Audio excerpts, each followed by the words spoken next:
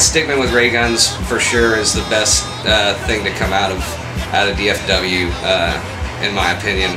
I mean, Bobby Soxx was he was kind of the first guy that that was one of those memorable singers. You know, he stood out so much and so crazy, and you never knew what he was going to do.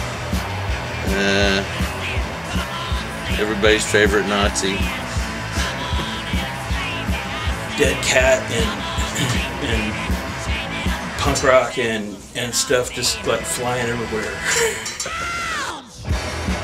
I was the bass player for Stickmen with Ray Guns from 1981 through 1988 or so when we kind of disbanded for the last time. Like from I don't know 80, 81 or 82 when when you know kind of from the beginning until 85 or 86. We played just about every weekend somewhere. Played Ground Zero. We got blackballed from playing Ground Zero because Bobby Soxx Puked on the stage. came up and ganged it. We, we looked, we thought, oh, it'd be cool to have Bobby Soxx come up and sing a song with us. You know? So we got up there and sang and he gagged himself and he puked and That was the end of that. I've, I've tried hard to forget about that. uh, I remember one time we let him. This is this is uh, by the time Bar of Soap's around after he got out of jail or whatever, and he came around and wanted to run a tab. Well, he ran a twelve dollar tab. We never saw him again. I thought that was money just well spent. He was such a genius when it came to just being a degenerate, like, weirdo. His name is Bobby Soxx. Born and raised in Oak Cliff, though, as one Robert Calverley. On this particular night, Bobby's band, Stickmen with Ray Guns, is playing for a private party at Dallas's Hot Club.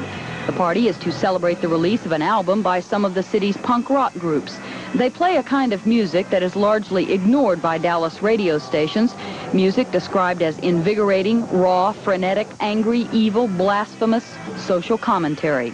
I'm not too fond of organized religion, so I kind of kick God around a little bit. But it's not really against him, it's against all the jerks that are soaking people for their money and just not really giving them anything in return, you know. I mean, it's like, you know, it's like Jesus Christ died so that TV evangelists could drive big cars and live in big houses. You know, it's nowhere. You know, we, I didn't know what to expect. Uh, a friend of mine just went. We loved the name. We thought, man, we just got to go see this local band. Just sounds like a crazy band, and we were really into like straight edge hardcore and stuff. And we thought, man, this is to be great. You know, they're to be this real fast band. You know, it just sounds like that. And we get there, and they were just this extremely loud, death dirgy, maniac type band.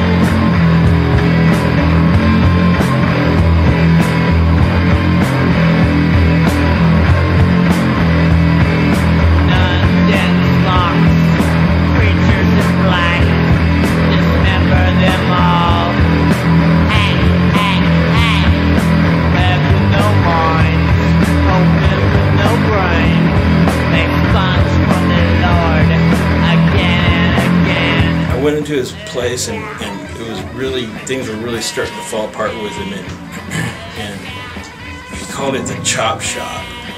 And he had had all these blades and, and pointy instruments and stuff like that just stuck into the wall all over his apartment. And there was an axe that was on a Christmas tree rotisserie stand that played Silent Night and it had Bible verses glued to it and it was painted turquoise blue and he said that he had chopped this guy's ear off that came to get some money from him. He had the ear stuck to the stuck to his wall. He was always a nice guy to me, but he didn't exactly have a friendly reputation. Bobby Soxx had a little uh, thing where he liked to shit on the floor next to the toilet instead of the toilet all the time. And over in the corner there was like a, a big glass five gallon jug that had a, a neon tube in it that was connected to this electric fence power pack and it pulsed purple. And he called it his brain.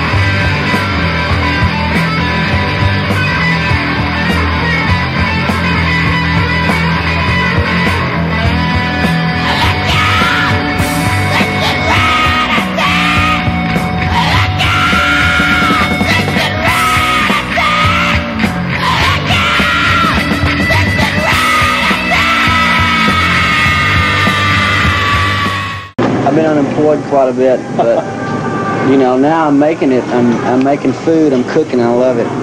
I'm happy. I you know I can cook and I can play rock and roll, or I can play rock and roll, or I can cook. Bobby was a great guy and somebody I was fortunate enough to have as a friend.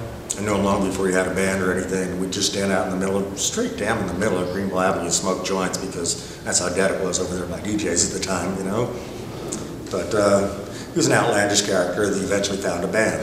You know, as far as an iconic figure, Bobby Soxx and Stickman with Ray Guns for the Dallas punk scene, there's no doubt he's on the pedestal. Yeah, they were filthy. I mean, well, he was just so real, you know. I mean, Thumbs what up to you- Bobby Beeman too. Yeah, what you saw is what you got with Bobby.